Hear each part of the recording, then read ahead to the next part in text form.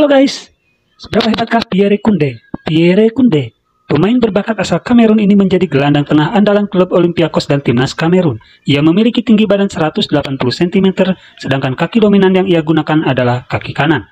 Posisi yang ia tempati dalam skuad yakni gelandang tengah. Namun, ia juga bisa dijadikan sebagai gelandang serang maupun gelandang bertahan. Di level timnas, Pierre Kunde mulai pada tahun 18 dan langsung masuk ke dalam skuad senior.